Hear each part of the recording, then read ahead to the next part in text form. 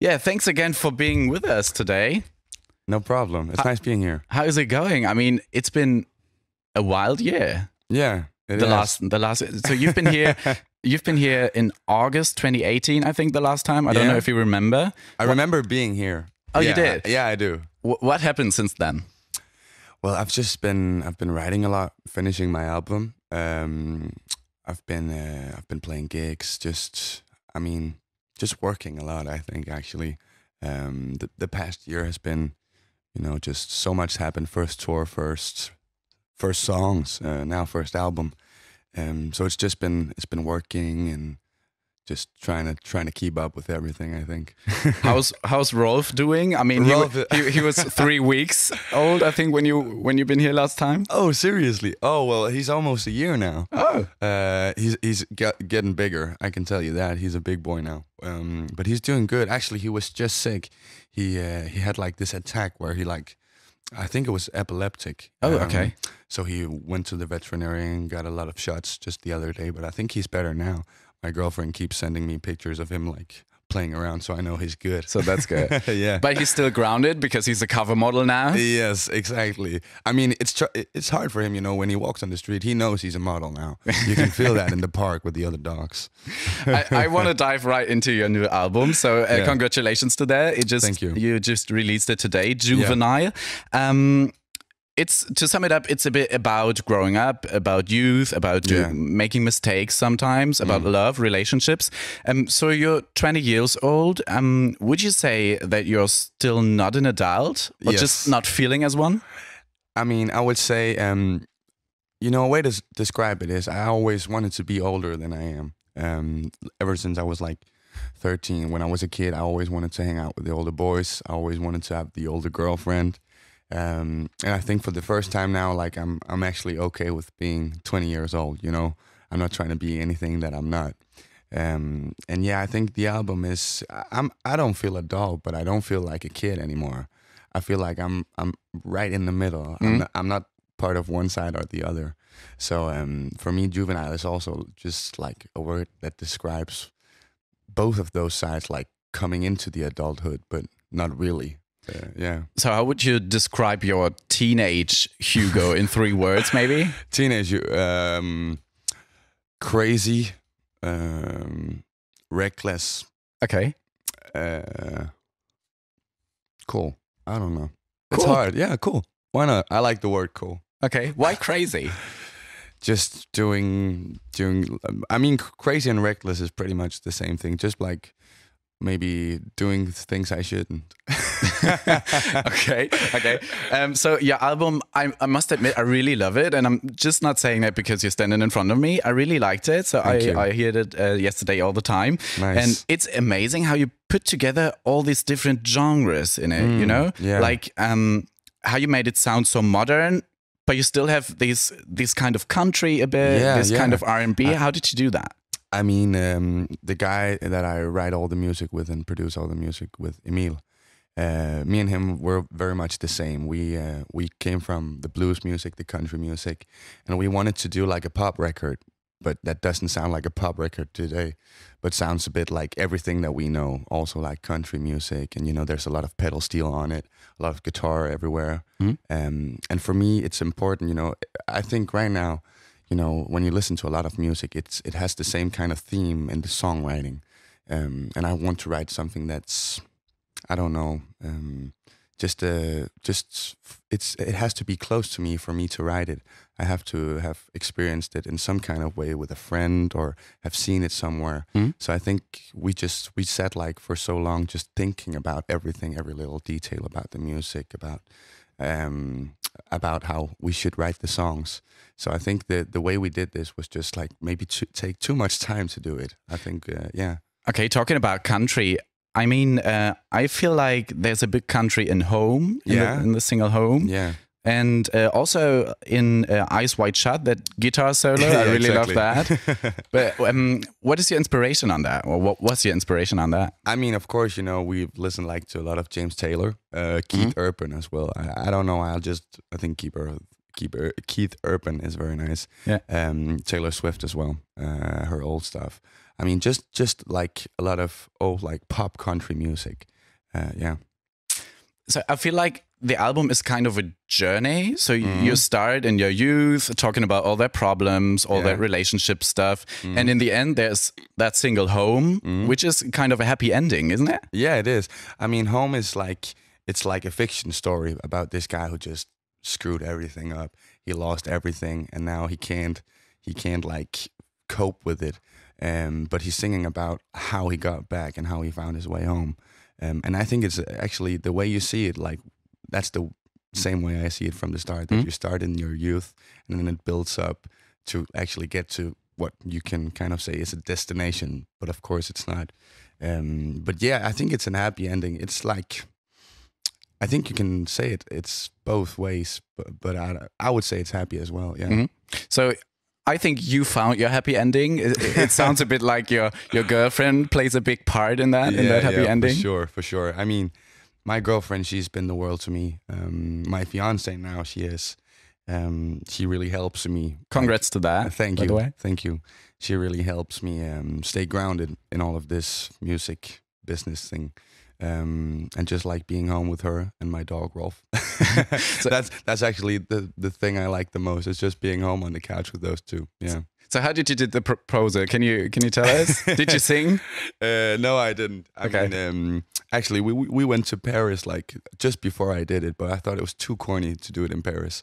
So uh, I waited till we got home, and I just did it in my pajamas in the night. Just very very simple. Oh. Um, uh, she came home from Cuba, so uh, so when she arrived home, I was you know I had some champagne, I had my like pajamas on, and um, I just like lit some candles, and then and then I did it like at home. I thought so she'd like that more, and yeah, and she actually she said she liked that I didn't do it on a restaurant or something because. Uh, because it, she would have been so like, yeah it feels uh, like yeah. all eyes on you and i was like if she's gonna say no nobody's gonna see it yeah right right but she didn't expect it or did no, you talk I, about that before? I think she's she like she threw hints at me at some point, like mm -hmm. like just put a ring on it, like okay, you know. But um, but no, I don't think she expected it.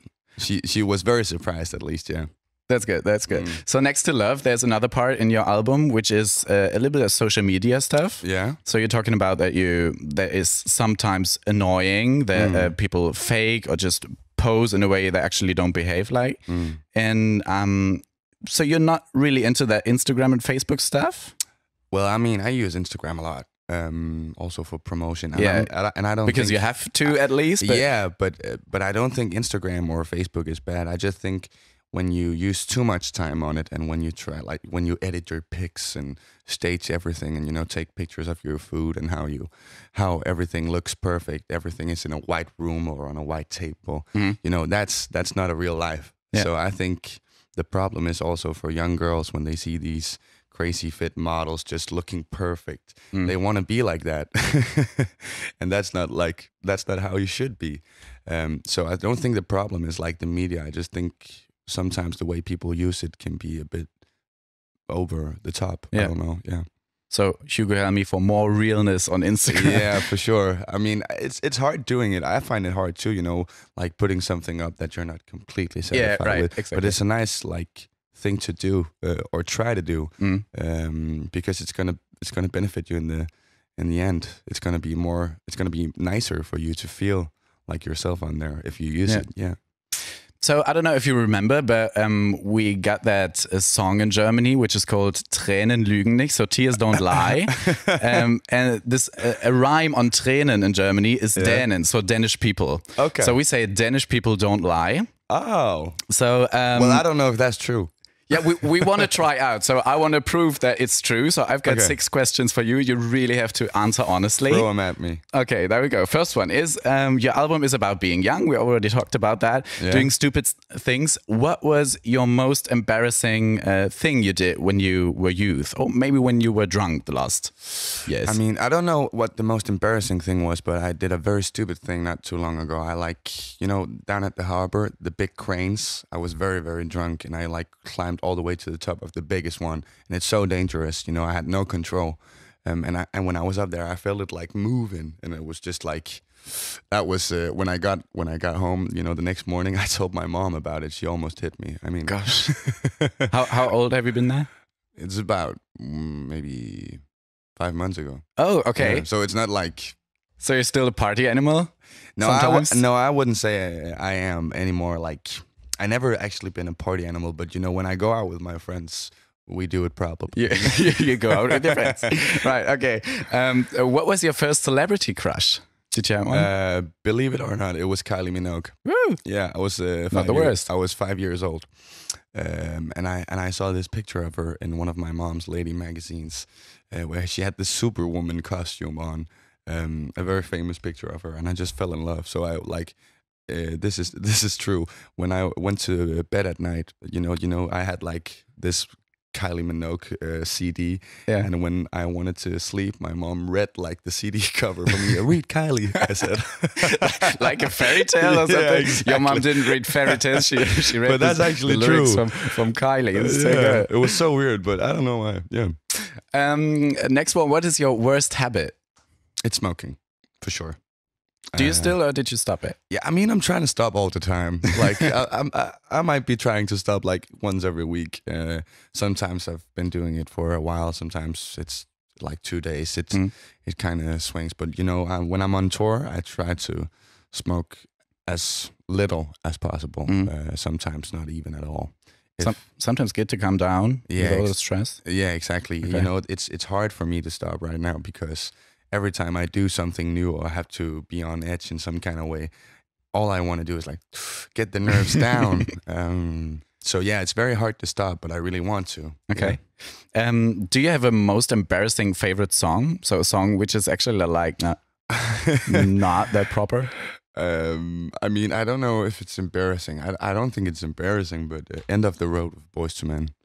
Okay, no, that's okay. It is, right? Yeah. Yeah, that's a good Isn't song. Yeah, Yeah. it's not the worst one. No, exactly. Um, so you already talked about uh, with a morning show about that. We got that um, super hit countdown Mm-hmm. over the Easter holidays. Um, could you please repeat uh, the song "You Would Wish" and why? Um, hmm. So you Well, can choose any song, whatever any, you want. Any song. yeah, Can it be a slow song? it can uh, be a slow song, sure. Okay. Uh, no, I'll I'll do I'll do Stitches with Shawn Mendes again. Uh, I, I just like that song. I think it's one of the best pop songs that's been around for many years. I don't know. I think the production, the songwriting as well. It just it fits so well together.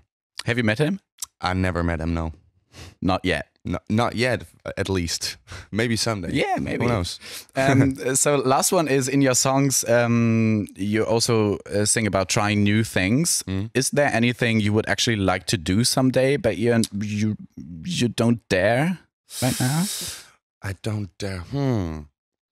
I don't know if I don't dare. I always wanted to like try to play golf. I don't know why.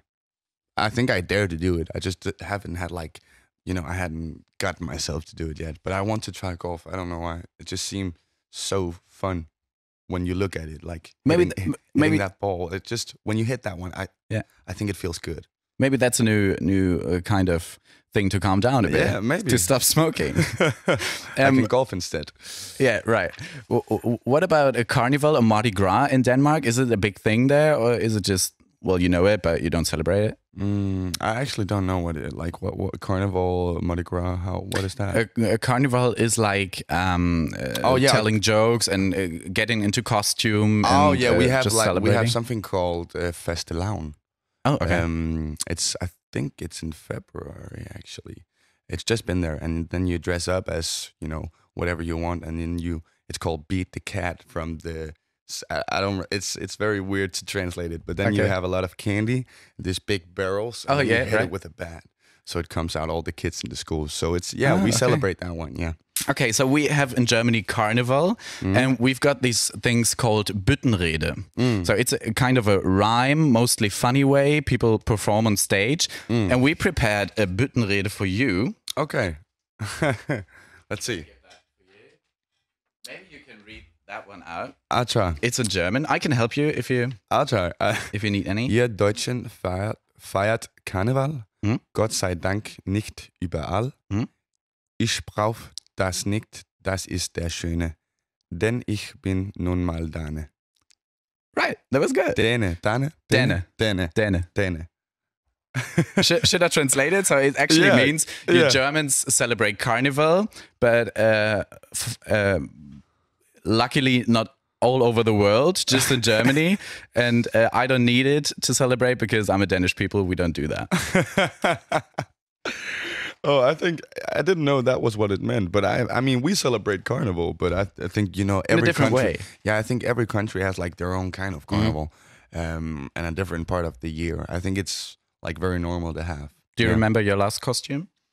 Have you ever had one? I, I- had one when I was a kid. Um, you know, you also go around to the neighbors like begging for like like Halloween. Halloween, yeah, yeah. exactly. Um, I remember I was a Robin Hood at some point, but it's a Oh. long time ago. Yeah, okay. I was a cute Robin Hood. I was like very very small, walking around. So Hugo Helmig, thank you so Yeah, much for being here with us. Pleasure. Um, I just have to take a look. You start touring in about a week. Yeah. First stops in your home country, Denmark. Yes. Um, but you also come to Germany. We're looking forward to see you in Hamburg. Yeah. 2nd of April, 11th of April in Berlin. Mhm. Have you ever played live concert in Germany? Yeah, I have quite a few times.